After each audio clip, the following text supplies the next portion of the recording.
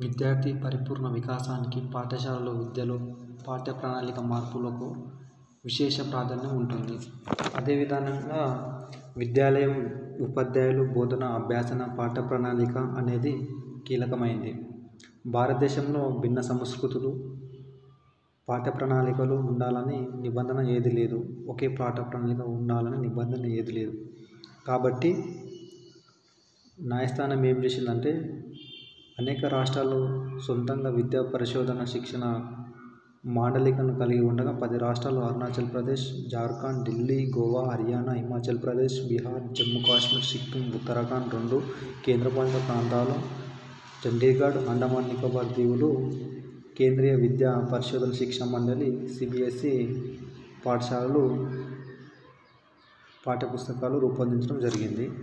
వచ్చే ఈ ఏడాది ఈ ఏడాది నుంచి ఆంధ్రప్రదేశ్ కూడా చేరుకుంది. సిబిఎస్ఈ పాఠ ప్రణాళికని అమలు చేయనున్నట్లు కేంద్ర ప్రభుత్వం ప్రకటించింది ఇటీవల.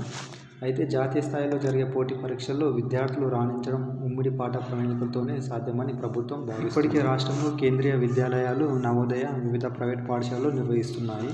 సృజనాత్మకతకు వీలు. జాతీయ విద్యా ప్రణాళిక విధి విధానాల ప్రకారం ఎన్సీఆర్టీ పంతొమ్మిది వందల అరవై ఒకటిలో స్థాపించి స్వయం ప్రతికను కలిగి ఉంది. ఇప్పటి వరకు పంతొమ్మిది వందల డెబ్బై ఐదు పంతొమ్మిది వందల ఎనభై ఎనిమిది రెండు వేల ఇరవైలో పాఠ ప్రణాళికలను రూపుమార్చడం జరిగింది. అదేవిధంగా ఈసారి కూడా పాఠ ప్రణాళికలను మార్పు చేసే అవకాశం ఉంది. జాతీయ స్థాయి పరీక్షలకు సివిల్స్ పరీక్ష కానీ జేఏ కానీ పోటీ పరీక్షలకు సాధ్యం కాదు కనుక ఆయా ప్రశ్న పత్రాలు కేంద్ర పాఠ్య ప్రణాళికల ఆధారంగా రూపొందించడం జరుగుతుంది. ఒడిశా కేరళ కర్ణాటక రాష్ట్రాలను రాష్ట్ర విద్యా ప్రణాళిక విధి విధానాలను ఏర్పాటు చేసుకొని పాఠ్య ప్రణాళికలను నవీకరించేందుకు కృషి చేస్తున్నాయి. అదేవిధంగా పాఠశాల మోతాదు మించితే విద్యార్థులపై ఒత్తిడి పెరిగే అనే భావన ఉంది కాబట్టి సాంస్కృతిక కార్యక్రమాలు సంగీతం కళలు నాటకాలతో పాటు పాట ప్రణాళికేతర కార్యక్రమాలు క్రీడలు సమావేశాలు వంటి ప్రాధాన్యత ప్రధానంగా ఉంటుంది. గుర్తింపుతో పాటు అమెరికా ఐరోపా సింగపూర్ వంటి దేశాల్లో కూడా వ్యవస్థలు సర్దుబాటుకు అనుకూలంగా ఉంటుంది. ఉపాధ్యాయులదే బాధ్యత. రాష్ట్రాలు కేంద్రీయ పాఠ్య ప్రణాళికలు అమలుకు సిద్ధపడిన మౌలిక సదుపాయాలతో పాటు ఉపాధ్యాయుల కొరత అధిగమించాల్సింది ఉంటుంది. గ్రామీణ ప్రాంతాలు విద్యార్థుల అవసరాలకు అనుగుణ కనీసం ప్రాథమిక విద్య వరకు పాఠ్యపుస్తకాలు ఆంగ్ల తెలుగు భాషలో ముద్రిస్తే ప్రయోజనం ఉంటుంది.